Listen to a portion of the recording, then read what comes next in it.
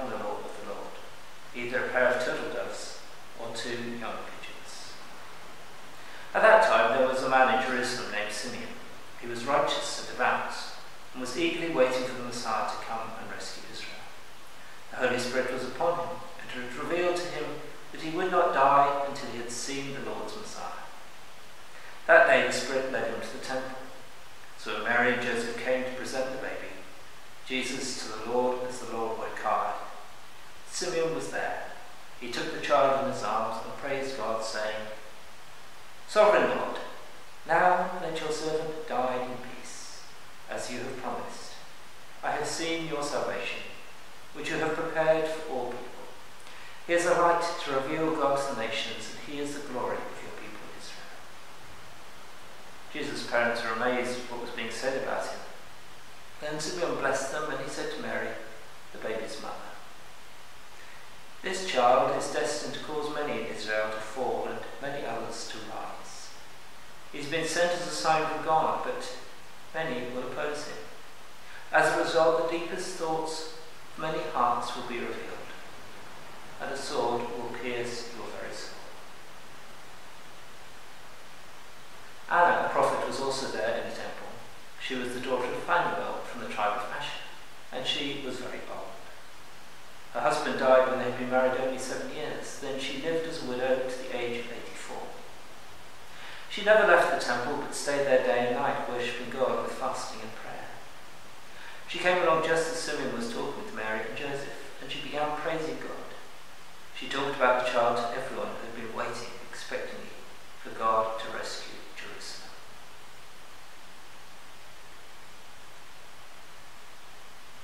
When Jesus' parents had fulfilled all the requirements of the law of the Lord, they returned home to Nazareth in Galilee. There the child grew up healthy and strong. He was filled with wisdom, and God's favour was on him. This is the gospel of the Lord. Praise to you, O Christ.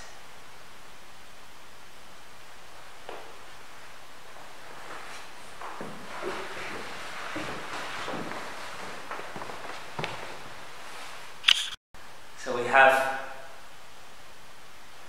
we have this story of Simeon who realizing that this child is the hope of Israel, knows that he can now rest. Sometimes just small shoots, tiny things, can be the sign that something is going to happen. And I think there are small shoots, small shoots that are happening around about our churches and around about our communities of God's love and His values coming alive. And some of us need to allow those shoots to grow and flourish. Not to expect that we have to continue to do everything, but to be allowed to rest. We may need, like Anna, to be those who take more of a back seat and to pray but we pray because we have hope. And she comes there and she's able to see that this tiny baby is the Saviour of Israel. And she tells other people he is, and that small thing becomes something much greater a long time after she's no longer able to be there. Yet she's happy. So, as we face a new year, not knowing what is ahead of us, not knowing where we're going to be at the end of it, having been through a year that has been very different from many of the recent past, we are to be those who look for those little shoots of hope and find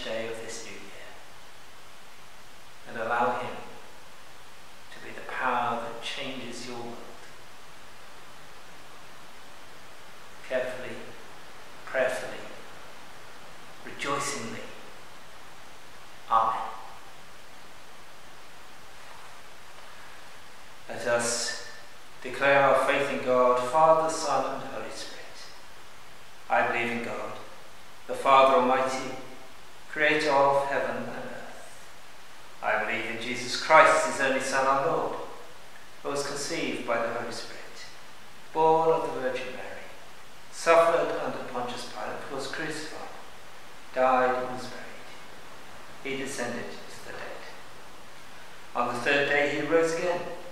He ascended into heaven. He is seated at the right hand of the Father, and he will come to judge the living and the dead. I believe in the Holy Spirit, the Holy Catholic Church, the communion of saints, the forgiveness of sins, the resurrection of the body, and the life everlasting. Amen. In today's intercessions, when I say, Lord of glory, please respond hear our prayer. Lord of glory, hear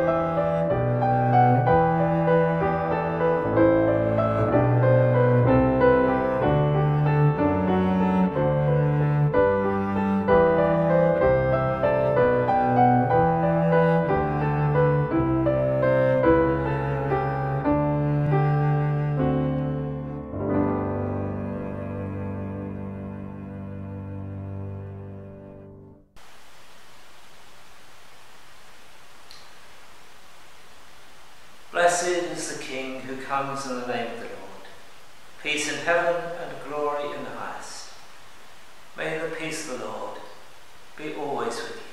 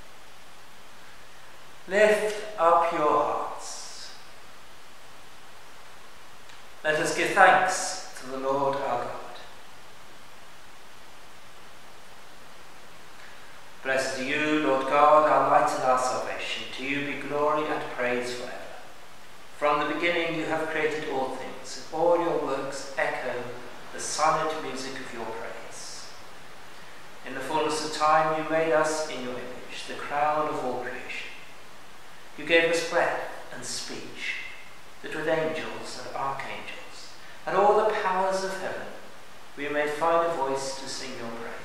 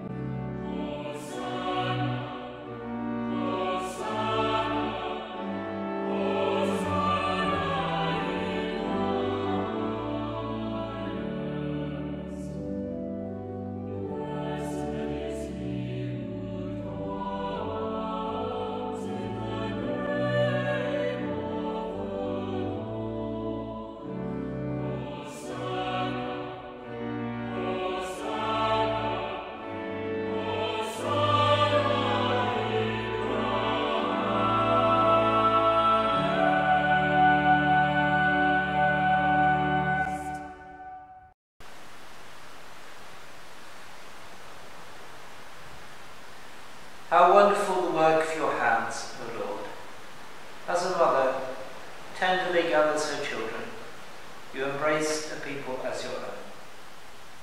When they turned away and rebelled, your love remained steadfast. From them you raised up Jesus, our Saviour, born of Mary, to be the living bread in whom all our hungers are satisfied.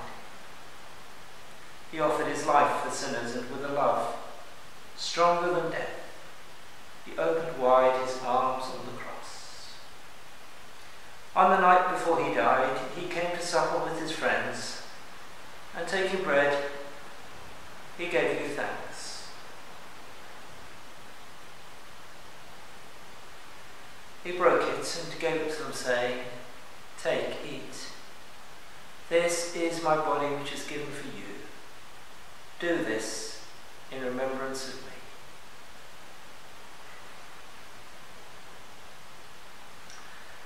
At the end of supper, taking the cup of wine, he gave you thanks and said, Drink this, all of you. This is my blood of the new covenant, which is shed for you and for many for the forgiveness of sins. Do this as often as you drink it in remembrance of me.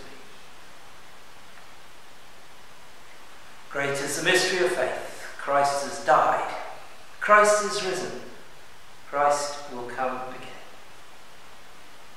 So, Father, we plead with confidence his sacrifice made once for all upon the cross. We remember his dying and rising in glory, and we rejoice that he intercedes for us at your right hand.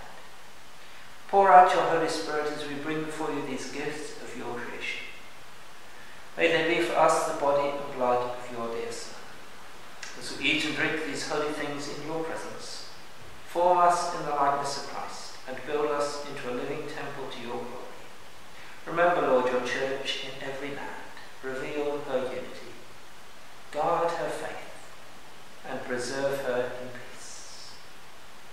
Bring us at the last with all the saints to the vision of that eternal splendour for which you have created us through Jesus Christ our Lord. By him with him and in him, with all who stand before you in earth we worship you, Father Almighty, in songs of everlasting praise. Blessing and honour and glory and power be yours forever and ever. Amen.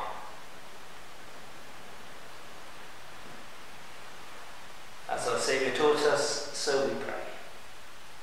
Our Father, who art in heaven, hallowed be thy name. Thy kingdom come, thy will be done, on earth as it is in heaven.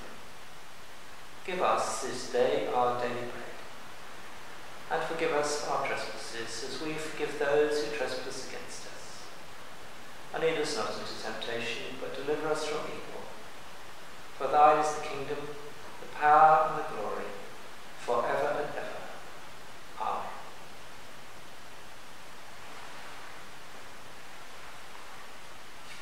We break this bread to share in the body of Christ. Though we are many, we are one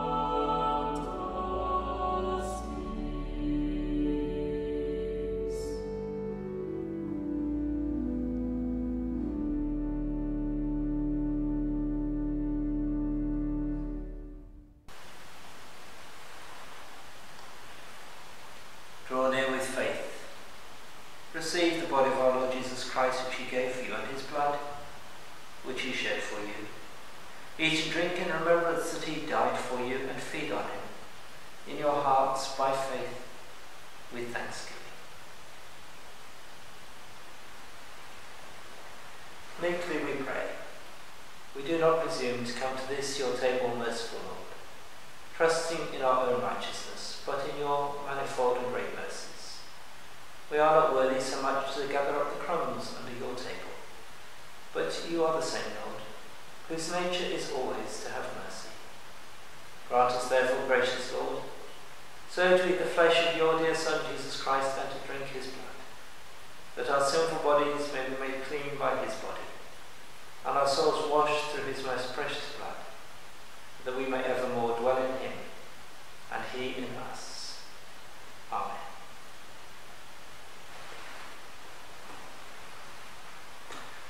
So we have a piece of music as we receive communion.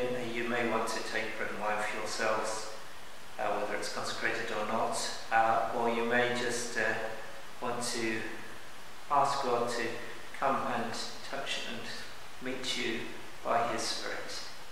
And we have a song, Awake, Arise, Good Christian.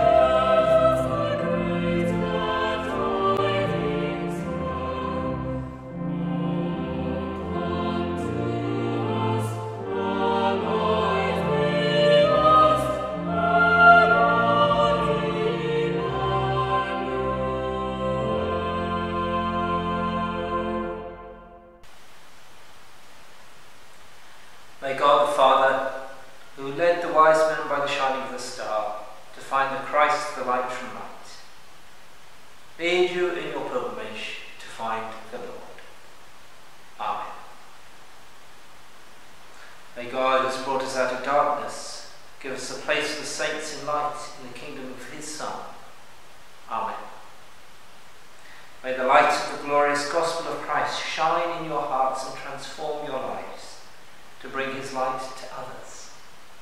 Amen. And the blessing of God Almighty, the Father, the Son, and the Holy Spirit be with you this day and forevermore. Amen. Go into the world to walk in God's light, to rejoice in God's love, and to reflect God's glory in His strength we go.